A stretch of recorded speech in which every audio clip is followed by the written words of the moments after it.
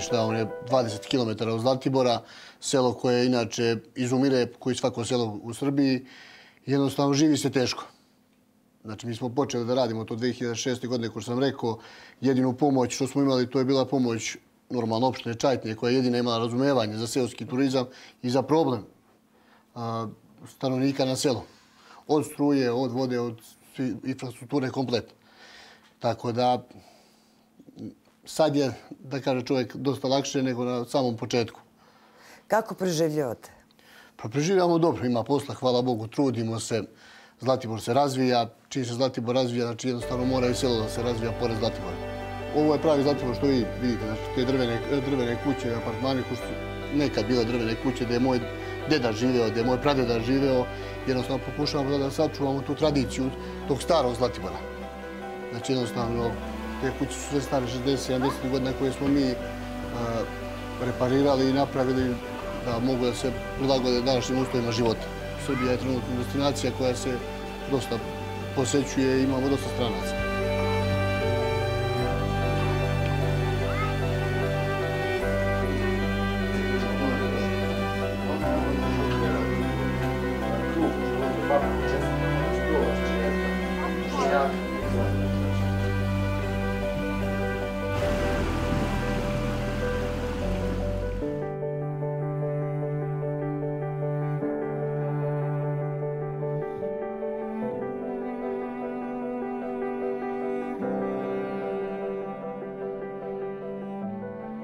Mi smo došli u selo, ja i moj otac, 2006. godine sa idejom da napravimo ovdje vikendicu za mene i brata i za naše porodice i tu jedno malo kupalište što bi otac moj rekao za unuke. I tako smo počeli 2007. godine i onda je narod s vremena na vreme svraćao da pita ima li da se popije rakija, ima li šta da se pojde i onda je jednostavno smo krenuli da investiramo u seoski turizam jer u tom momentu 2007. godine je seoski turizam bio u ekspanziji.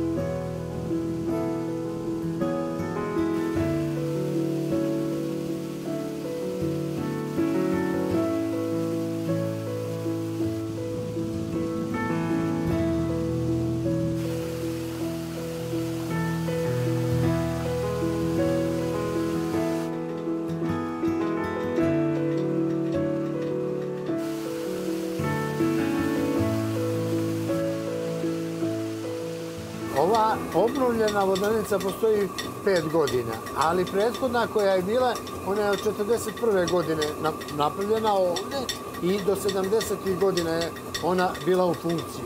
Međutim, sticajem okolnosti narod je otišao iz sela i vodenica je jednostavno se srušila. I ja kad sam došao ovdje na moju dedovinu na imanje ovo ovdje, ja sam imao želju da je obnovim. I se uz pomoć svojih prijatelja koji su znali oko, ovo, oko vodenice, ja sam je obnovio. I sad vodenica od 3-4 godine radi ona je u funkciji. Melje brašno, melje žito, melje kukuruz, pšenica, hedu meljem i ražano brašno.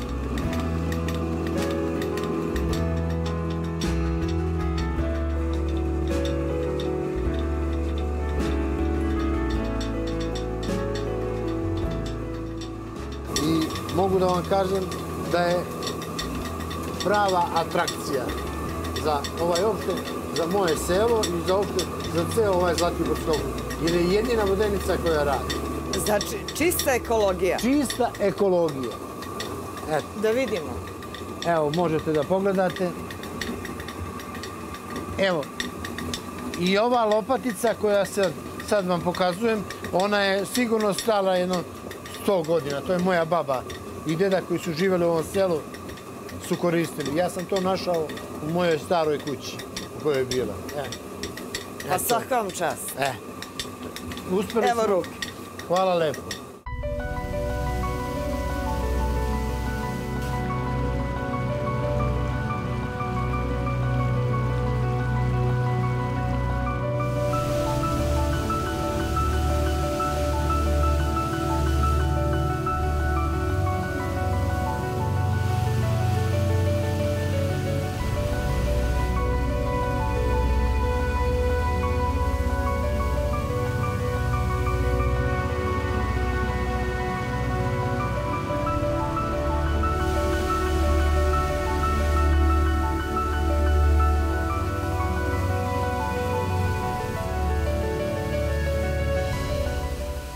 Evo, konačno se nalazimo van tog urbanog dela Zlatibora, u srcu Parka prirode Zlatibor. Iza nas je Gostinski vodopad, koji se nalazi na Gostinskoj, Gostinskoj reci, gde se voda iz Gostinske reke obrušava sa 20 metara visoke e, krečnjačke stene. E, čini izuzetno lep e, i značajan hidrološki objekat koji se nalazi, kažem, u drugom stepenu zaštite Parka prirode Zlatibor. Ispod glavnog vodopada nalazi se niz manjih vodopada koji su takođe veoma zanimljivi. Nakon nekoliko manjih slapova, Gostinska reka se uliva u Katošnicu, reku koja je bogata potočnom pastrankom, potočnom mrenom i jednom od zaštićenih, strogo zaštićenih e, vrsta, e, rečnim rakom. Reka Katošnica je zanimljiva ribolovcima za ribolov u svom donjem toku, pošto gornji tok reke Katošnice je zabranjen za bilo kakav čak i rekreativni ribolov.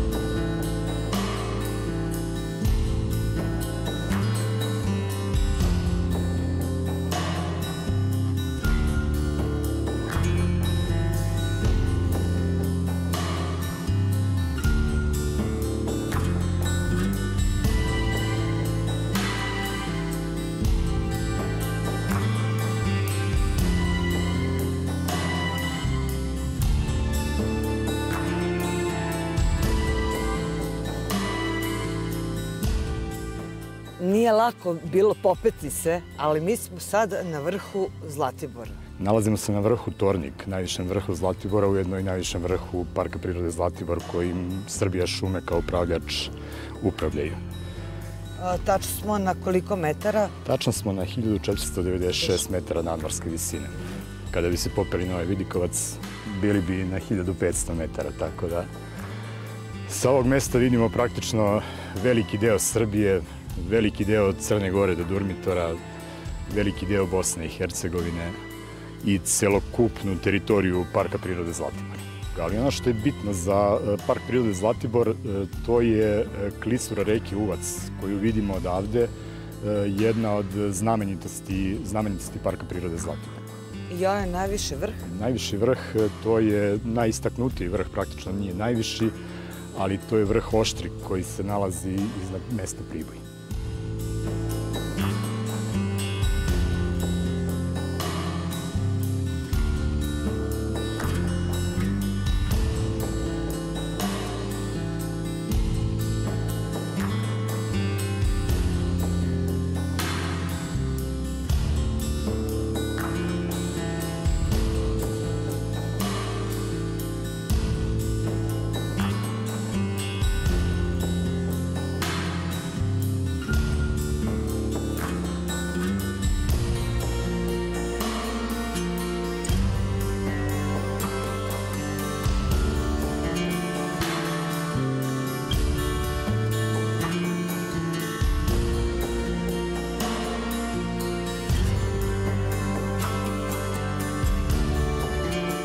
Tornik i nije neko preterano veliko skijalište. Za potrebe Zlatibora sigurno je to relativno malo skijalište. Postoje priče da će se i dalje širiti, ali po meni ono što je mnogo bitnije to je priroda koja okružuje to skijalište. Malo, ali izuzetno lepo skijalište.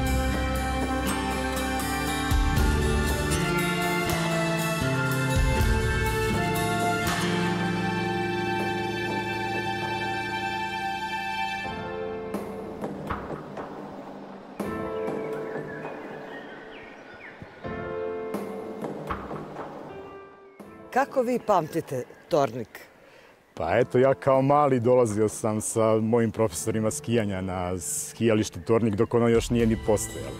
Praktično smo skijama tabali stazu danima da bi se jednom spustili sa niz tu padinu, a kasnije je došlo do stvarno projektovanja tih pravih skijaških staza na kojima postoji crne i crvene staze. Tako da sada je to stvarno izuzetno ozbiljno skijalište.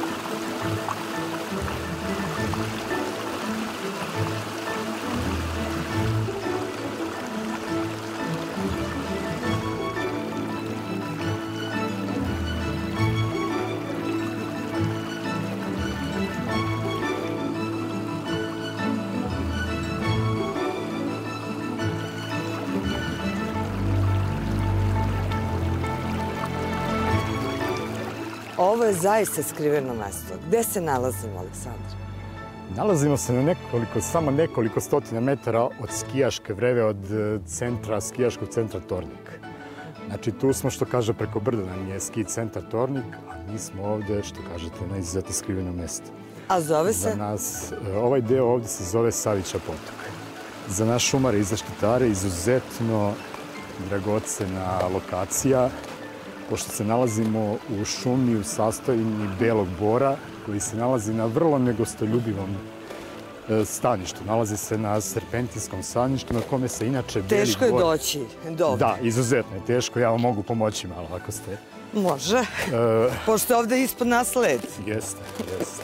I to je e, izuzetno vredan lokalitet, e, jer ovakve sastojine se, su vrlo redke u Evropi i u svetu. Iz kog Beli razloga? bor, e, zato što se Beli bor ne nalazi na ovakvoj podlozi. Znači, nije mu, nije mu staništa, nije mu mesto na ovakvoj podlozi. A ovde vidite kakva je, mislim, sastojna koja je fenomenalna, koja je odnegovana, koju su generacije šumara negovale da bi došli u ovaj stadion gdje imamo, imamo borove izuzetno lepog habitusa. Znači, nismo mi šumari samo neko ko vrši sirovu eksploataciju šuma, nego smo neko ko vrši negu, ko neguje te šume i na kraju dolazimo u situaciju da imamo turistima da pokažemo ovakvu jednu sastavu. Kada je proglašen park prirode Zlatibor, sa našom čuvarskom službom dosta turista je zainteresovano da dođe u ove netrpite predele. A Vi ste diplomirani inženjer šumarstva. Da. Šta to sve podrazumeva? Pa znate kako, sad u okviru parka prirode, u okviru parka prirode nas je osam zaposlenih, uglavnom su šumarski, diplomirani inženjeri šumarstva i šumarski tehničari koji rade na svakom vidu zaštite. Počev od nelegalne gradnje do praktično sprečavanja nelegalnih seča u privatnim i državnim šumama. To je neki naš osnovni posao trenutno. Znači, to nije samo seča drva, Ne, ne, daleko od toga. Svi vidimo samo tu seču i šumare gledaju kroz seču. Znači, šumari su neko ko neguje tu šumu. Znači, da nije šumara, ova šuma ne bi bila sad u ovakvom stanju. Ova sastojna belog bora se prostire na oko 60 hektara. I to je izuzetno vredan lokalitet e, u okviru Parka prirode Zlatibor.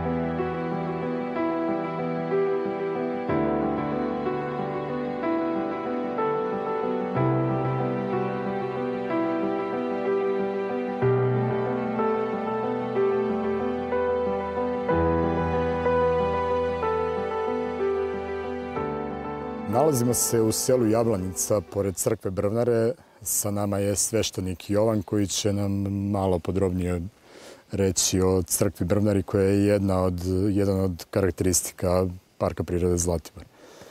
Tako je. Sam hram Presvete Bogorodice, pokrov Presvete Bogorodice, je nastao 1838. godine. Naravno, mi nemamo puno, da kažem, podataka o hramu i izdvajamo najosnovnije. Između ostalog, carske dveri koje se nalaze u samom hramu i one su nastale kad je i hram. Znači, i delo su Sretena Protića, Zografa iz Negrišora, iz Dragačeva. Kasnije, posle nekih 20. godina, nastale su i ostale ikone prestone i to je, da kažem, jedno bogatstvo naše, ovaj, koje je sačuvano od samog početka i one su delo Dimitrija Posinkovića. Šta je bitno još o, što se tiče unutrašnjosti hrama? One su malih dimenzija, a pored hrama se nalaze takozvane sobrašice. Sobrašice su imućni meštani pravili da bi mogli da predahnu kada su ovde slave, slava hrama ili ostale neke svetkovine poput krstonoša. I tu su služili svoje goste. Njih ima nekoliko, uglavnom su kao trem i ima i par njih koje su zatvorene. Znači tu se narod okupljao obično u letnjim, letnjem periodu, ne ovako kao danas, nego u letnjem periodu kada se pričesti recimo za konkretno za praznik preobraženja i omrsi se naravno sa postnom hranom na, na, na ulju, ribom i ostalim džakonijama, krompirušama i tako. Sam, sam hram i sama crkvena opština obuhvatao blizu 5 hektara i uglavnom je pod borovima i to je za nas opet jedan dodatni spomenik koji, koji negujemo i čuvamo. Zahvaljujući crkvi i veri, pretpostavljam da su i borovi u ovom stanju u kojem Tako je. Narod ljubomorno čuva te borove.